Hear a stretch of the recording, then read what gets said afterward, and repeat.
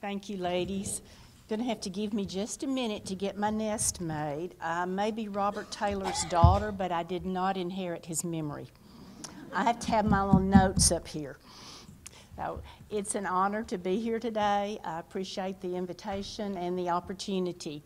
Um, my family has had a long relationship with this lectureship, the Memphis School of Preaching, and this congregation, and we're very thankful for that. What a great week we're, we're already starting to have. Timeless truth. We're in for a spiritual feast, and we're getting to have a reunion feast because there are people here that we don't get to see any other time of the year. But at lectureship, we get the hugs and the catch ups and, and the, the great Christian fellowship. Uh, my assignment this afternoon takes us to Titus chapter 2, verses 3 through 5, and the role of the older women. Let's read the passage together. The aged women likewise, that they be in behavior as becometh holiness, not false accusers, not given to much wine, teachers of good things that they may teach the young women to be sober, to love their husbands, to love their children, to be discreet, chaste, keepers at home, good, obedient to their own husbands, that the word of God be not blasphemed. You know, we live in a society and at a time when often instead of being valued for their wisdom and their knowledge and their experience, society tends to look at older people sometimes as a bother. They're discounted. People are ready to put them out to pasture, so to speak. It happens in businesses when employers sometimes choose to replace that older, experienced worker with someone younger who probably can be hired in at a lesser salary and the benefits won't cost as much and the years of loyal service mean nothing. It happens in congregations when sometimes people decide we need to get rid of that old preacher and replace him with someone younger and more dynamic. Sometimes it happens in elderships when people want to replace those old elders with younger men. And sometimes I'm afraid that's because maybe there's a hope that the younger ones won't be quite as strict. Sadly, it even happens in families. Sometimes older family members are viewed more as a bother rather than the treasured blessings that they are. It can be hard to wrap our heads around the fact that by reason of those birthdays, we've now become the older women that Paul here addresses. I'm a level with y'all. I do not feel like the older woman my friend Jeff Archey over in the International Gospel Hour booth asked me this morning, he said, Why did they give you that topic? I'm like, thank you, Jeff. when I think of the older woman, I still think of my mom and her generation. Um, I'm not in denial. I understand the birthdays mean I'm in that older woman bracket now. And we need to step up and we need to embrace that role. Paul, by inspiration of the Holy Spirit, describes life principles in this passage, many of which apply to us regardless of age. Older women are to teach younger women. Guess what? Y'all are all older than people who are younger than you. We need to realize that we have the same opportunity and obligation to be an example to those younger than we are, regardless of our age. Mothers of teenagers are probably looking to mothers of young adults to see how to navigate that empty nest and those years. Mothers of young children are looking to mothers of teenagers for how to navigate the teenage years. And teenage girls, younger girls, are looking at you for example. Our youth minister's little girl just turned six yesterday. And after church, she will come up to our teenagers, Will you come play with me? Now, I remember when our teenagers were little kids wanting my children to go play with them. And bless those teenagers' hearts, they will stop whatever they're doing and go play hide and seek with London. All she's got to do is ask. But regardless of age, we need to be an example. We need to happily embrace the opportunity and the obligation to be the best example that we can and to teach those younger than we are. We need to realize there is no retirement in the Lord's army. Now, age and health may mean that we need to have a job change, but we don't need to completely retire. God needs all His soldiers working, and there is work for all of us to do. My daddy's 90 years old. He's had to slow down a lot, but he plans to be here Thursday night to close out the lectureship as he has done for so many years. I have known of women, and I'm sure you have too, who, when they reach that magic age, I'm done. I've done mine. Let these young ones do theirs. Now, the women I know that have done that have only done it with church work. They haven't retired from their families. They haven't retired from their community activities, their social clubs, their civic clubs, their hobbies, their sports, whatever they fill the time with. But when it comes to volunteering at church, I'm done. Let these younger ones step up. And yes, younger ones do need to step up, and we older ladies need to let them.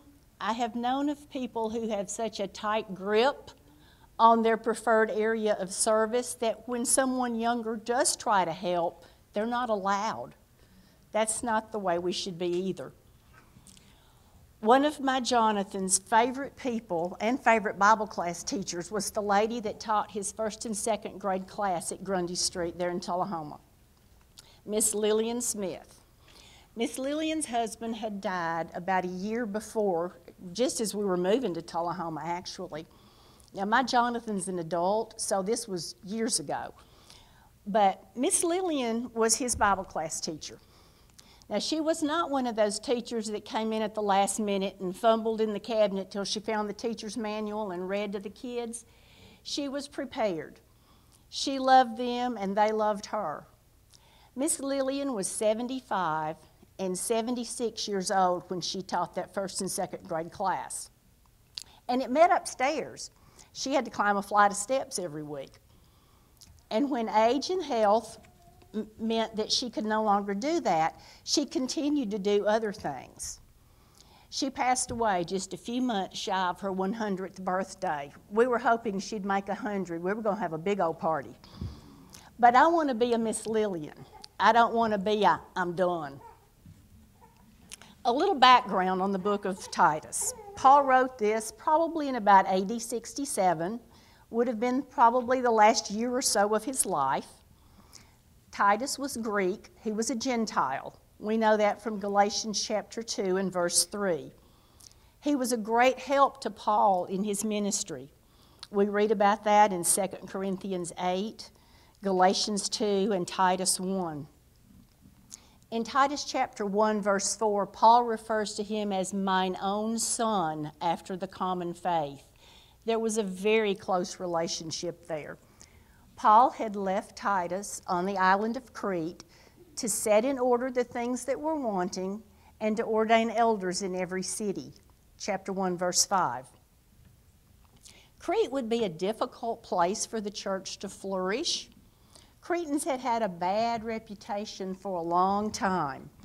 One of themselves, even a prophet of their own, said, The Cretans are always liars, evil beasts, slow bellies. This witness is true. Titus chapter 1, verse 12, and the first part of verse 13. What a way to be known throughout time as liars, evil, so it would have been even more important for the Christians in Crete to live their Christian lives, to set a good example, to show the superiority of the Christian way of life, and to contrast with the pagan way that the people of Crete were living. Paul gives instructions for the kind of men who would be qualified to serve as elders. He gives instructions as to how the men and the women of the congregation were to behave. You know, it should be only natural that younger men and younger women be able to look to older men and older women for example in teaching. We set an example every day by what we do and how we live. It's either a good example or it's a bad one. We set that example in private, in public, and online in our social media presence. And online is even more far reaching and more long lasting. It's more permanent, it's more public. Our example includes the way we act, the way we think, the way we talk, the way we dress, and it includes all those things on Facebook too. There's a lot of good that can be done on social media for the cause of Christ. Our brethren have put out tremendous content online, particularly in the last two years with COVID and the pandemic.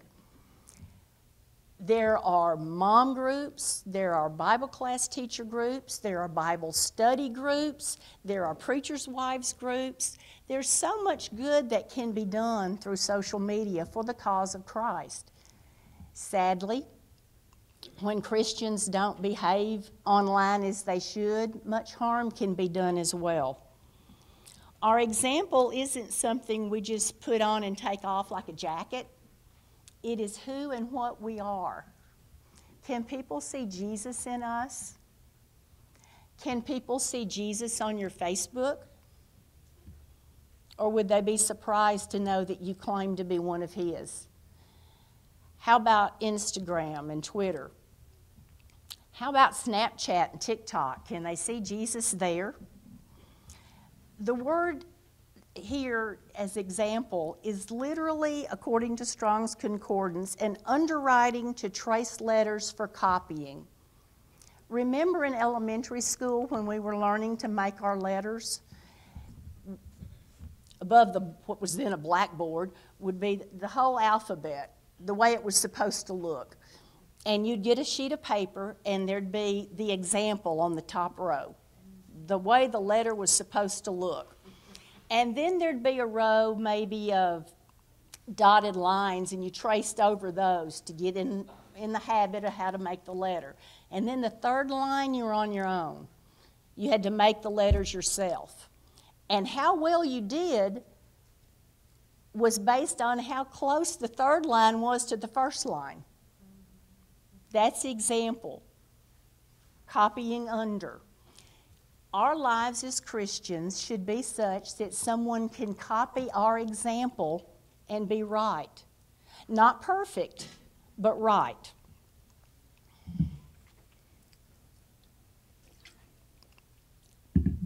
In the opening verses of Titus 2, Paul gives instructions for the older men. In verse 3, he moves to the women, likewise, meaning in the same way. Paul lists several areas in which the older women need to be examples. Our behavior is to be that which becometh holiness. The word translated holiness is from the Greek word for sacred, denoting something suited to a sacred character, that which is befitting in persons, actions, or things consecrated to God. You know, if we get that part right, that holiness part right, everything else will fall into place. But as he which hath called you is holy, so be ye holy in all manner of conversation. The New King James says, in all manner of conduct. Because it is written, Be ye holy, for I am holy. 1 Peter 1 15 and 16. Because we are behaving in a way that is becoming of holiness, we will not be false accusers. The idea of being a false accuser is also translated slanderer. According to Strong's Concordance, it is from the same word we use to describe Satan. That's serious. God views it seriously, and so should we. We will not lie. Such is simply not compatible with holiness. It is impossible for God to lie. Hebrews 6:18. If we are striving to be like him, we will not be false accusers. the scripture goes on to state we are not to be given to much wine. This is not to be taken as a license for social drinking. The Holy Spirit would not allow for moderation in drinking alcohol. Some people will say, well, the Bible just condemns being drunk. It doesn't condemn drinking, so a little bit's okay. Just realistically, when someone drinks that drink that puts them over the legal limit, is that one drink, that last drink, what made them drunk? Or is it the culmination of all of it? You know, the Holy Spirit also would not contradict himself from one place to the other.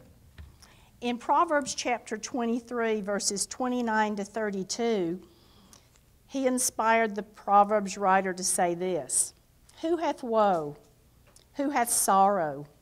Who hath contentions? Who hath babbling? Who hath wounds without cause? Who hath redness of eyes?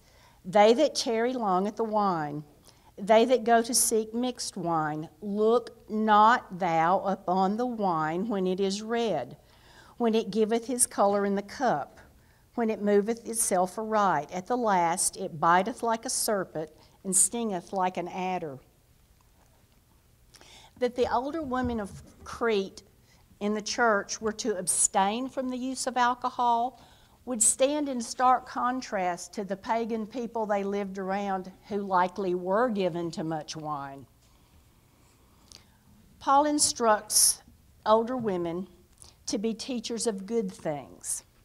Our lives and our example are going to teach something. We need to make sure that we're teaching right things, good things. What follows is a list of divinely inspired things that we need to be teaching.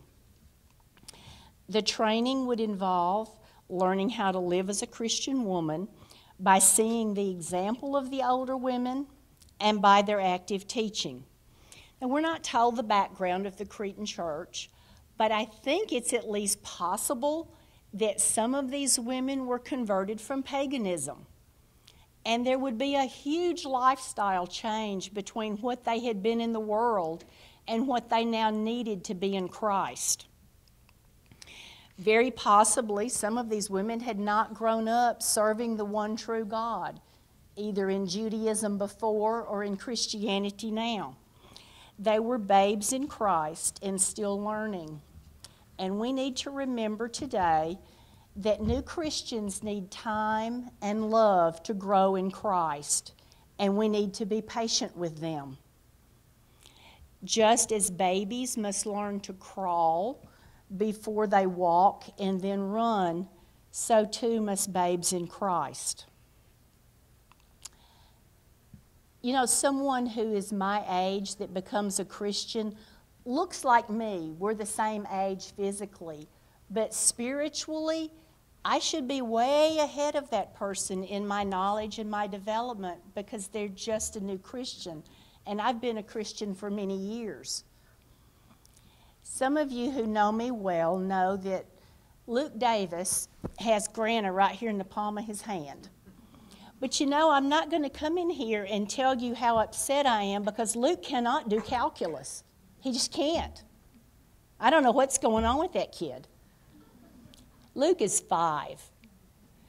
Calculus is not a pre kindergarten subject. I should not expect him to be able to do calculus. Now, if you want to talk dinosaurs, he's your man. He's taught us some names that we didn't know existed. My husband misidentified a dinosaur when they were reading a book not too long ago, and Luke, Luke looked at him and said, Papa, you really need to learn your dinosaurs better. that new grandbaby that we're getting in June, when her mommy and daddy bring her home from being born for the first time, none of us expect her to be able to jump out of her car seat and run into the house like her big brother does. It's beyond her capability. And we need to give new Christians time to grow.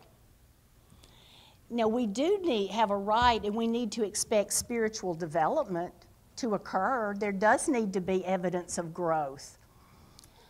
we do not do our young people any favors when we let them do that calculus in advanced placement, college level classes in high school, but when it comes to church, we're okay if they just show up most of the time on Sunday morning and stay for class.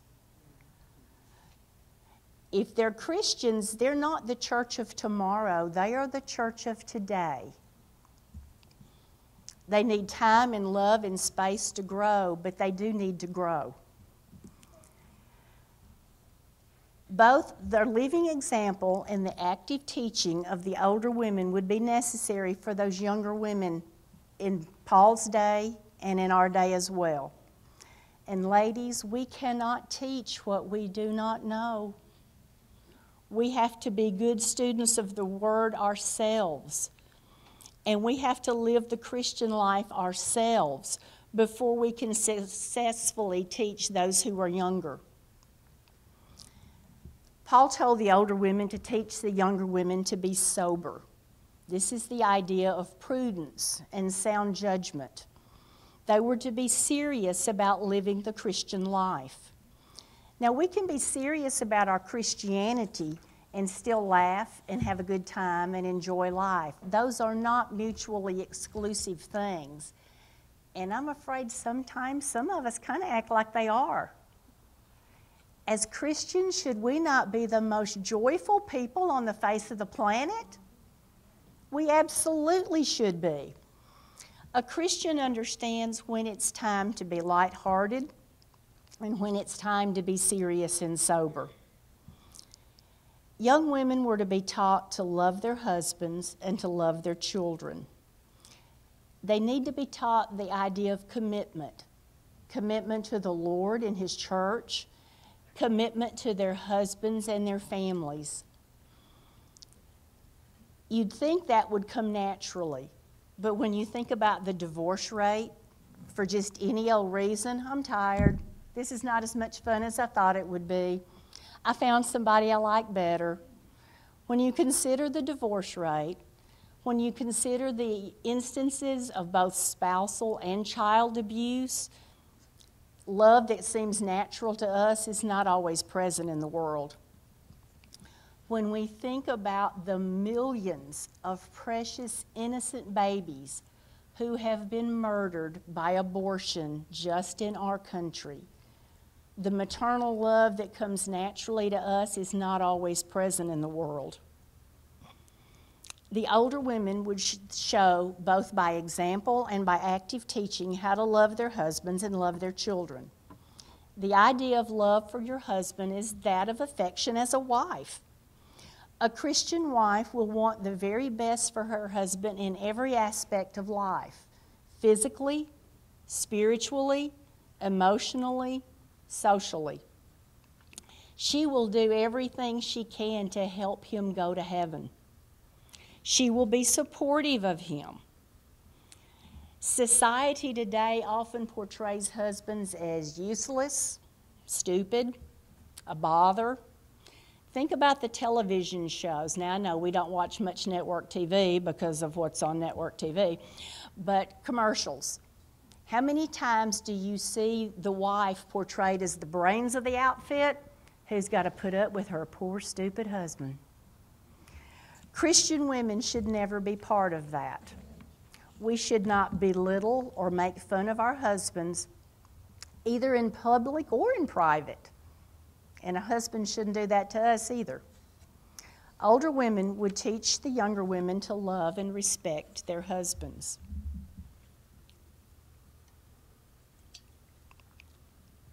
Boy, my mouth gets dry up here. A Christian mother will have maternal love for her children. She will, above all else, want her children to be faithful Christians. She will do everything in her power to pass that genuine faith on to her children, just as Lois and Eunice did to Timothy in 2 Timothy 1 5. One of my favorite verses is 3 John 4. I have no greater joy than to hear that my children walk in truth. I can't believe I didn't put that in the book. I don't know where my head was.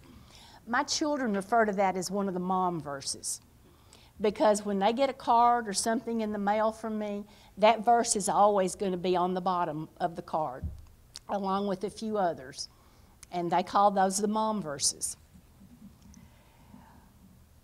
Too many mothers today seem more interested in their children being popular and successful in the world rather than spiritual. What's emphasized in your home? Does God truly come first? As Matthew 6:33 tells us. The main thing is to keep the main thing the main thing. What's the main thing at your house? Does God really come first? Or does he get the leftovers after job and school and sports and hobby and fun and however else we spend our time? I'm afraid sometimes parents unintentionally, and I think it is unintentional, send a mixed signal to their children.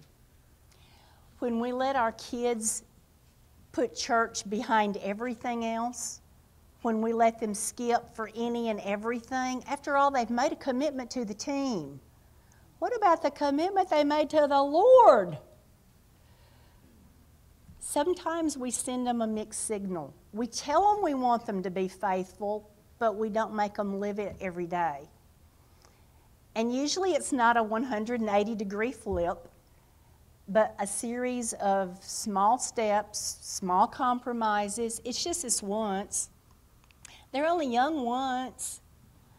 Well, let them be kids. And I'm afraid we send them a signal that maybe God doesn't come first.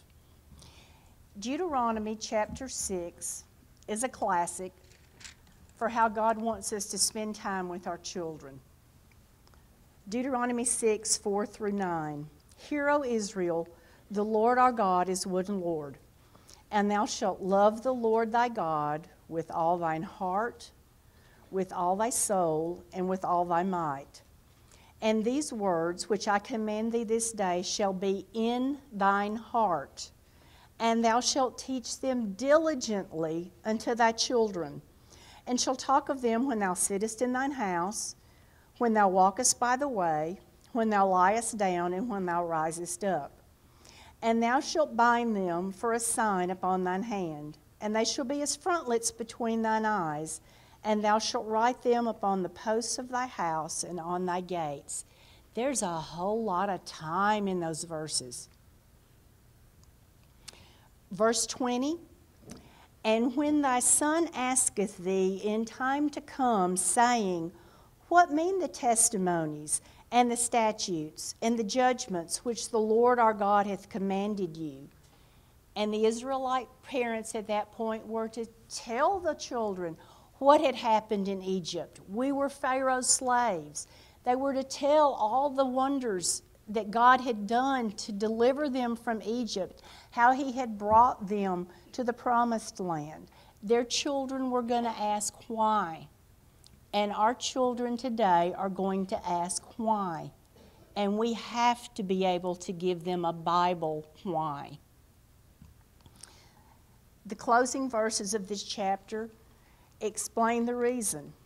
And the Lord commanded us to do all these statutes, statutes to fear the Lord our God for our good always, that he might preserve us alive as it is this day, and it shall be our righteousness, if we observe to do all these commandments before the Lord our God as he hath commanded us.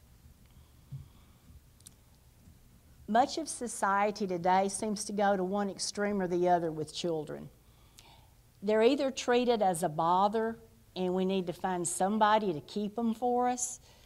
Um, when the Senate recently passed the thing about extending, making daylight savings time permanent, one of the senators, and I don't remember which one it was, said something about you need more daylight so the kids can go out and play so you're not bothered with them. So you're not bothered with them?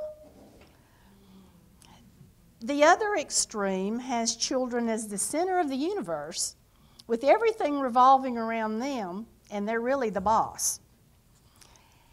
Both extremes are harmful, and neither one is what God wants.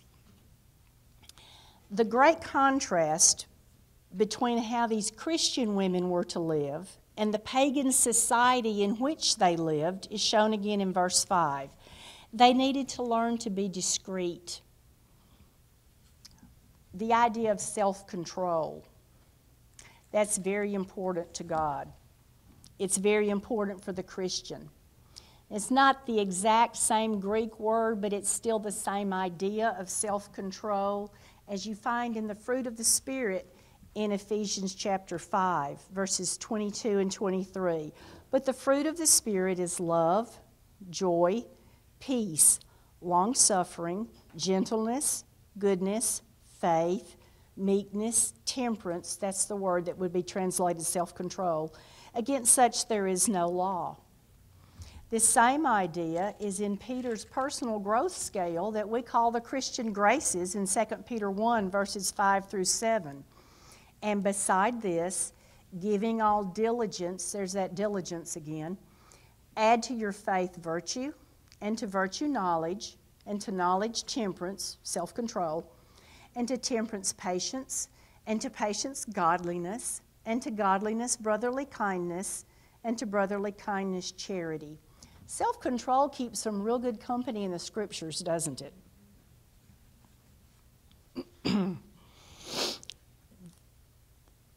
These young women were to be taught to be chaste. It's C H A S T E, not C H A S E D. There's a big difference in those two words.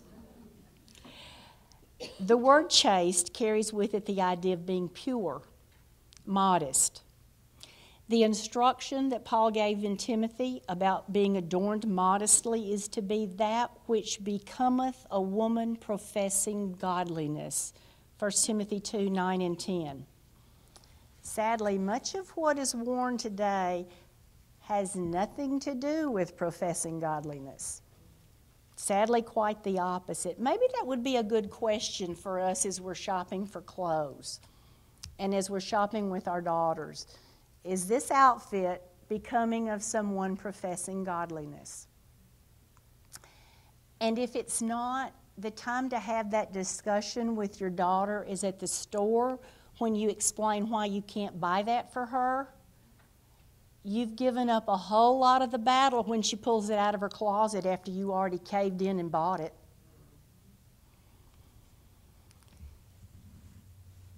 Older women were to teach the younger women to be keepers at home, meaning workers at home. She's going to take good care of her family. That's going to be her main focus and her main concern. Back in about 18, the 1860s, 63, 65, somewhere in there, a man by the name of William Ross Wallace wrote a poem. And the poem itself is largely forgotten, but there's a phrase out of the poem The hand that rocks the cradle rules the world. Think how different our world would be Think how different the news right now would be if the cradles of some world leaders had been rocked by the hands of godly Christian mothers. Sometimes helping provide for our families may include working outside the home. We have examples of women in Scripture who conducted business to help take care of their families. The worthy woman of Proverbs 31, Lydia in Acts 16, Priscilla in Acts 18. Now, I'm not talking about somebody who has to do that because I want a mansion and a new expensive car and designer clothes. I'm talking about women who do this to help take care of their families. There are a lot of women over the years who have had to go to work in some capacity to provide health insurance because their husband was self employed, a small business owner, a preacher. Maybe the salary wasn't enough to provide basic necessities for a, to support a family. There are faithful Christian women that have had to go to work for good reason. My mother went to work when we got a little older so that Tim and I could go to school at Freed Hardeman. I'm thankful she was willing to do that. My grandmother was left a widow with six children, and she was six months pregnant with the seventh child when my grandfather died very suddenly in 1936. The only way she could keep her family together was to go to work outside her home. And I hope nobody said anything to her like, Those kids just lost their daddy. Don't you know they need their mama at home? yeah, she knew that. But the only reason she was able to keep them at home was to go to work. Older children had to help get jobs, middle children had to help raise the younger children. Everybody stepped up, but she kept her kids together.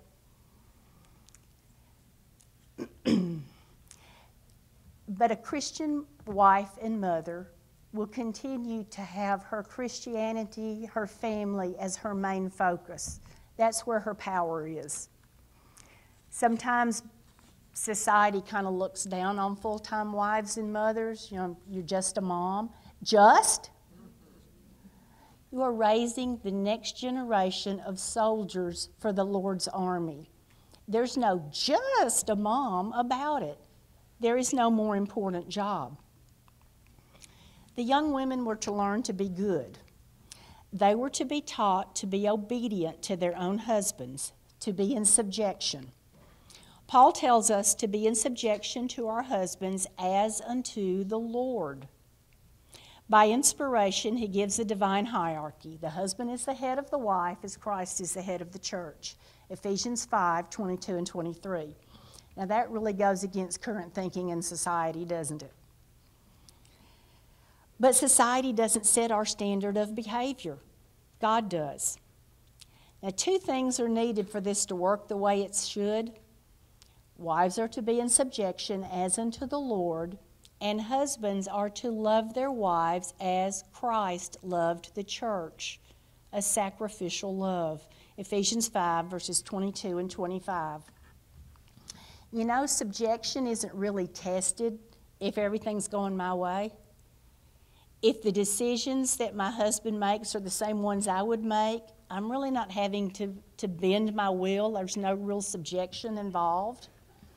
Subjection kind of has to come into play when I think we should do this and he thinks we should do that. Now, I'm not talking about anything that would violate the Word of God. I think we should buy this because it's cheaper and I think it'll work just fine. He thinks we should buy that because while it costs more, it's probably better made and it'll last longer. And that's frequently how the discussions at our house go because I'm the cheap one. Have there been times over the years when he came back to me later and said, You know, you were right, I should have listened to you? Yes. Have there been times over the years when I needed to be the one to say, You were right, I was wrong, your way was better? Yes. I need to accept that when he makes a decision that's different than the decision I would make, it's because he's doing what he thinks is best for his family. Is subjection always easy? No, but it is biblical. You know, it's very possible that some of these women in Crete were married to men who were not Christians. Perhaps they were even still practicing pagans, and that would make marriage and subjection even more difficult. But by their example, perhaps they might be able to win their husbands for Christ. 1 Peter 3 1 through 5. Paul then gives us the why of all this that the word of God be not blasphemed. The word translated blasphemed means to vilify, to speak evil of, to use speech to bring down another's value, to injure another's reputation in the eyes of others. The pagan people of Crete were no doubt looking for any opportunity they could find to attack Christianity and the hypocrisy of Christians not living as they should would give them that opportunity. And, ladies, today, the world is looking for any opportunity they can find to attack Christianity. And the hypocrisy of Christians not living as we should would give them that opportunity. The role of the older women in the church is a very important one, both by example and by teaching. Ideally, a young woman's main example and main teacher would be her Christian mother, but we all have a role to play.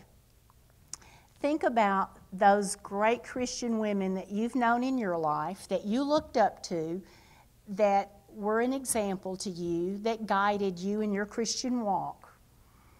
We need to be that kind of example for others. Pay it forward, if you will. If you want to be a sweet, godly older woman, it's a lot easier if you start as a sweet, godly younger woman. Some of you all will know who I'm talking about. This lady was at Getwell many years ago, Sister Lottie Gaines. Sister Gaines was just the most gracious, southern, sweet lady you would ever meet. And some of us used to talk about how we needed to take Sister Gaines pills so that when we got to be her age, we could be as sweet as she was. And someone, and I think it might have been Corinne Elkins, said, you know, it would be easier if you started taking those now. As Christian women, we need to live in such a way that all can see Christ in us. Our example should be one that can be followed. Paul told us to walk worthy of the vocation wherewith we are called, Ephesians 4 1. Christianity is to be our vocation, our way of life. Young women, we need you to be teachable, to be willing to live and learn as Christ would have you. By following the Spirit's instruction, a beautiful relationship between older and younger sisters in the family of God can develop and will last forever. It will be of great value to us. It will be of great value to the Lord's church. May God help us as we try to be the kind of example that we should be. Thank you for your attention and thank you for being here. And I will turn it back over to Melissa, who probably has some announcements.